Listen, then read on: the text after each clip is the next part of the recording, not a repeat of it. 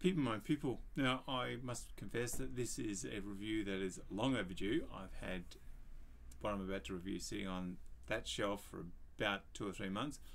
Sorry, Mick. I know you had a birthday yesterday. I'm sorry. Can this be my belated birthday present for you? But the only this goes to air, it's going to be about a week or so late. Because we all know I do this a weekend review. So, the basic is is that we have four seasons in Melbourne, and people, you know, it's it's hey talk conversation. Oh, gee, shocking weather we're having. Gee, you know, nice little blast furnace we have. That child will be quiet if that child starts talking again. Yes, I do have a child at home as I record, and he will make like he is silent.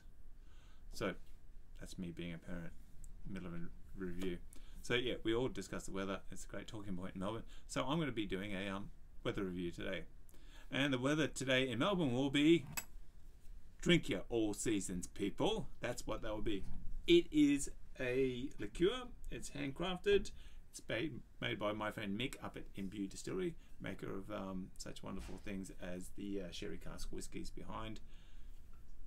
Um, that one. Zoom in. There. It made a lethal whiskey sour, and the brandy beside it, which made made me forget an entire evening.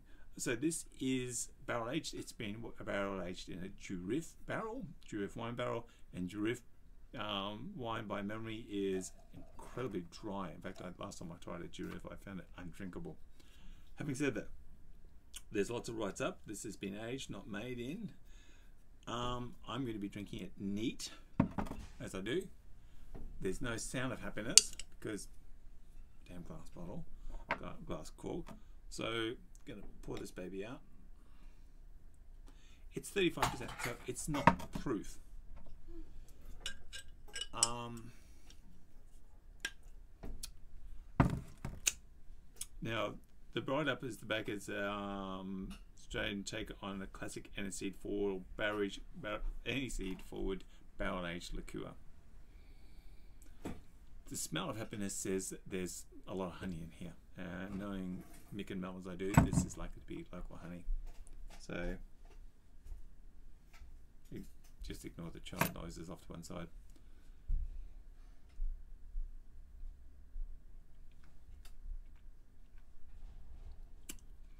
the taste of happiness is that the okay, yeah, there's the aniseed.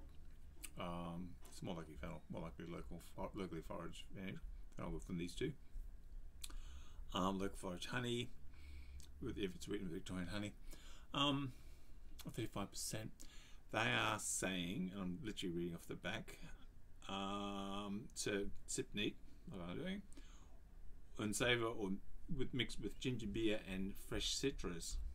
So basically, everyone's saying, "Oh, you're gonna have a shocking summer in Victoria." The great way of making this shocking summer into a great summer is get a couple of bottles of this, or get a yeah of this. Um, line up that shocking Sunday afternoon, large jug, ginger beer, ice cubes, big jug.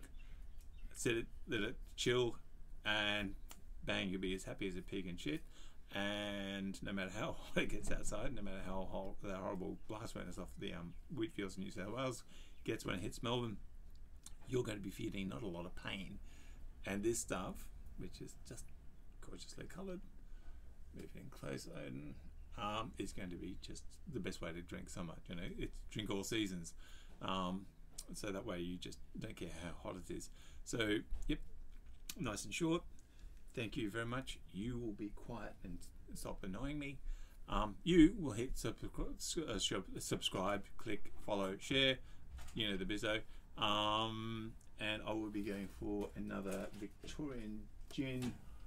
I think I will go for my final Hill Martin gin, which is the orange squeeze next week. Um, and I will more likely, yep. And extra next week will be Woody Island um, lavender liqueur lavender gin. So, thank you for watching. People, my people, let's keep these subscriptions rolling in. And this is the best way to drink seasons. All seasons from Imbue Distillery.